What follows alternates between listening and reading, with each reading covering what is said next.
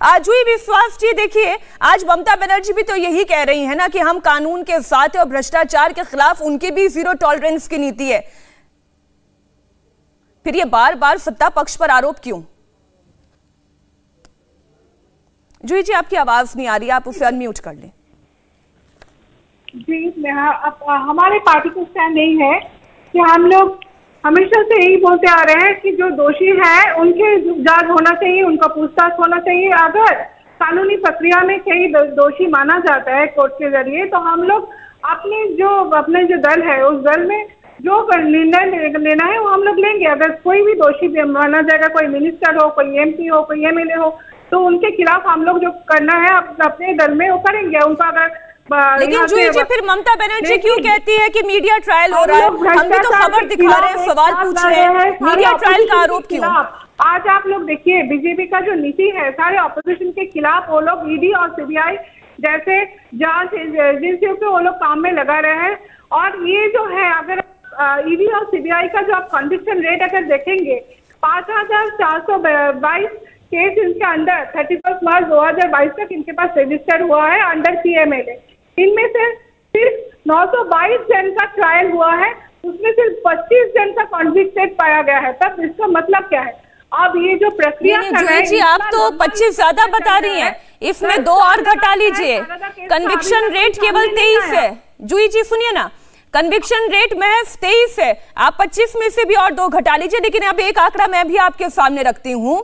इस वक्त जुलाई के महीने में दिल्ली एनसीआर मुंबई में जुई जी सुनिए ना सुनिए सुनिए सुनिए। जुई जी जुई जी सुनिए। इस वक्त एक आंकड़ा यह भी है कि जुलाई के महीने में दिल्ली एनसीआर मुंबई में कुल 27 जगहों पर अलग अलग कंपनीज़ के ठिकानों पर छापे पड़ रहे हैं ईडी के। तो फिर वो भी आके सड़क पर बैठ जाए? उनके मालिक और कर्मचारी भी बैठ जाए? कहें कि हमारे साथ ये गलत हो रहा है अन्याय हो रहा है? पॉलिटिकल पार्टी के किसी नेता पर ईडी का छापा पड़े हाँ, तो हाय तौबा। देखिए देखिए आपका बात हम सुन रहे हैं। हम लोग कहीं नहीं कहीं भी ममता बनर्जी ये नहीं बोला कि ईडी छापा नहीं दे सकते कि कोई भी जाके पूछताछ नहीं कर सकते। कोई भी एजेंसी आप पूछताछ कर सकते लेकिन सिर्फ़ ऑपोजिशन के लीडर को क्यों? आज जब इतना लीडर बीजेपी का कोई लीडर का पूछताछ हुआ है दो हज़ार चौदह के बाद हमारे जो यहाँ पर ऑपोजिशन लीडर है बंगाल में बीजेपी का शुभेंदु अधिकारी उनको भी तो शारदा मामला में उनका भी तो जाँच होना था पूछताछ होना था आज तक हुआ है क्या? हम्म। आज तक नहीं हुआ। हम्म। आप असम के सीएम को देख लीजिए हेमंत बिश्व शर्मा जी उनका भी तो नाम था तो उनका कहाँ पूछताछ किया गया है? त्वरित टिप्पणी। प्रेम शुक्ला जी तुरंत जवाब दें इस बात का। छत्तीसगढ़ के मुख्यमंत्री उनके खिलाफ कहाँ पे हुआ है? आज कौन से साबुन से आपकी पार्टी के कौन से साबुन से आपकी पार्टी के नेता नहाते हैं? बिल्कुल देखिए जो अब एक बेईमान को पकड़ा जाए तो तुरंत ही दूसरे ईमानदार को भी पकड़ लिया जाए ये नियम नहीं बनाया जा सकता। इसका इंडियन पिनल कोड में कोई प्रोविज़न नहीं है। भारत के किसी कानून में ये प्रोविज़न नहीं है। और ये तय कौन करेगा? ये जाँच एजेंसी तय करेगी कि किसकी किसकी पूछताछ करनी है कौन पूछताछ में कोऑपरेट कर रहा है किसके खिलाफ प्रमाण है किसके खिलाफ प्रमाण नहीं है। जिनके घर से ये पैसा नहीं नहीं जूही जब आपने सवाल पूछा तो अब आप जवाब सुनिए ना। मैं मैं आप ही के सवाल के साथ भारतीय पार्टी के प्रवक्ता के पास गई हूँ। नहीं प्रेम शुक्ला जी केवल ईडी पर आप ये बात अगर डाल दे रहे हैं मुझे एक बात बताए ना ऐसा ऐसे कैसे संभव है? शुभेंदु अधिकारी का नाम सामने आता है पर जाँच नहीं होती। जब तक आपकी पार्टी जाँच नहीं हुई? यही आरोप लगाए जा रहे हैं। नहीं झूठ आरोप लगा रहे हैं ना जाँच हुई। जाँच में जब उसमें प्रमाण मिलेगा तभी होगी ना कार्रवाई। और प्रमाण पर अगर आपके पास प्रमाण है तो आप अदालत जा सकते हैं। टू के केस का आपको ध्यान होगा। सरकार ने तो आदेश दिया नहीं था। मेरा मेरा मेरा मेरा कृपा कृपा करके फेसबुक पे सोशल मीडिया पे घूम रहे हैं कृपा करके मेरी बात पूरी होने दे। मीनाक्षी जी ये क्या तरीका प्रेम शुक्ला जी को सुन ले जुई जी मैं आप ही के सवाल के साथ उनके पास गई हूँ। प्रेम शुक्ला जी को पूरा करने व्यग्रता की इतनी व्यग्रता क्यों? और वैसे भी आज 3 वर्सेस 1 है। प्रेम शुक्ला जी। एक देखिए मीनाक्षी जी अगर टू जी में कैसे किसने ऑर्डर किया जाँच का? सुप्रीम कोर्ट ने। कोल स्कैम में किसने ऑर्डर किया? सुप्रीम कोर्ट ने। नेशनल हेराल्ड में पाँच हज़ार करोड़ की लूट की। जाँच का आदेश किसने किया? मजिस्ट्रेट कोर्ट ने। उस केस को कैश होने से मना किसने किया? सुप्रीम कोर्ट ने। इनके पास प्रमाण है ना? ये अदालत क्यों नहीं जाते? इनको किसने रोक रखा है?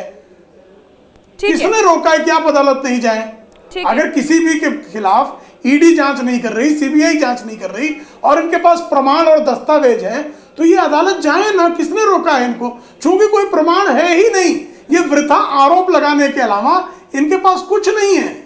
हम्म, ठीक है, आम आदमी पार्टी की ओर से प्रवक्ता भी हमारे साथ जुड़े हुए हैं। कुलदीप जी बड़ी बड़ी ये तो सादी सी बात है। अगर आपको लग रहा है सत्येंद्र जैन के साथ गलत हो रहा है, अगर आपको लग रहा है कि नई शराब नीति को लेकर कोई घपला हुआ ही नहीं, गलत हो रहा है तो कोर्ट का दरवाज़ा सबके लिए खुला है। बार बार केवल केंद्र सरकार पर आरोप लगा देना, ये तो सबसे ईजी टूल बन गया विपक्ष का। देखिए, मीनाक्षी जी, पहली बात तो यह कि ये बात ये छुपी नहीं है कि किस प्रकार से ईडी और सीबीआई का दुरुपयोग भारतीय जनता पार्टी के द्वारा देश भर में किया जा रहा है।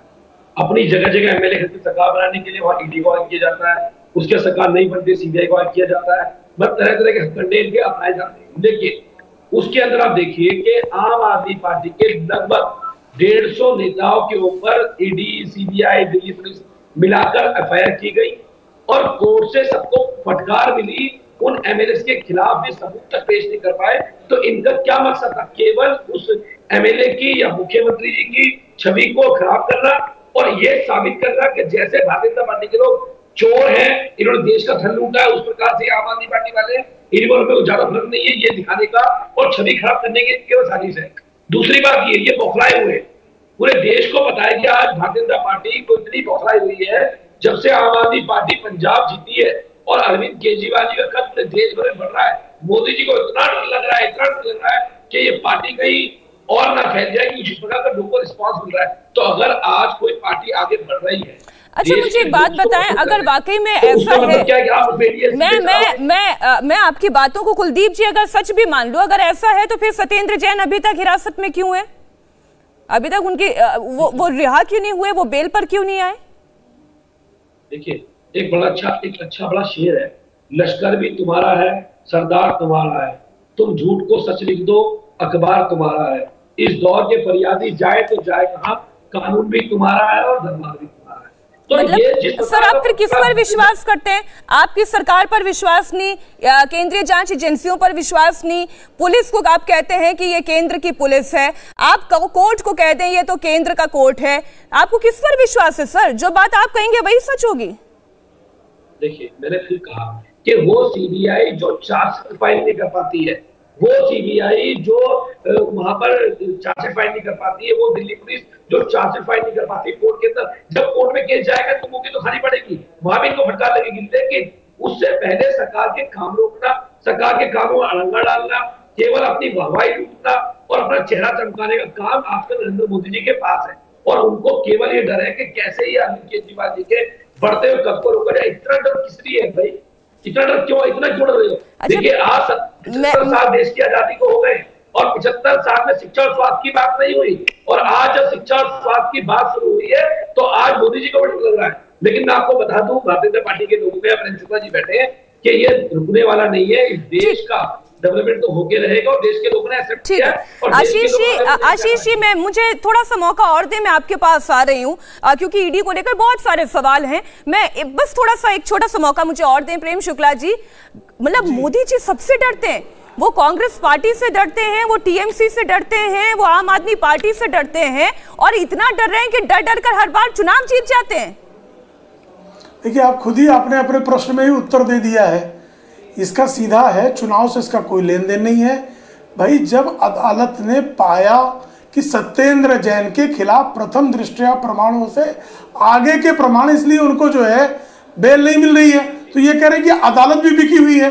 इन्होंने यही आरोप लगाया, जो शेर सुनाया इन्होंने, उसका अर्थ क्या है? अदालत भी मिली हुई है। अब अदालत पर इनको भरोसा नहीं है, जाँच एजेंसी पे इनको भरोसा नहीं है, संविधान पे इनको भरोसा नहीं है कानून पे इनको भरोसा नहीं है। अब 21 करोड़ किसी के यहाँ से कैश मिल जाए ये कहीं ईडी हम ही को टारगेट कर रही है। तो जहाँ पर कैश मिलेगा उसको क्यों ईडी ने टारगेट नहीं करना चाहिए मुझे बताइए। बीच में चिल्ला रहे ये ये ये ये आरोप देखिए बार बार केंद्र सरकार पर लग रहा है कि आप विपक्ष मुक्त भारत चाहते हैं इसलिए जितनी विपक्षी दल हैं और ताकतवर विपक्षी दल हैं ताकतवर विपक्षी दल है वहाँ पर सब जगह ईडी सीबीआई आईटी की रेड चल रही है। इंडिया टीवी हर वक्त हर जगह। डाउनलोड करने के लिए सर्च करें India TV news Google Play Store या एप स्टोर पर।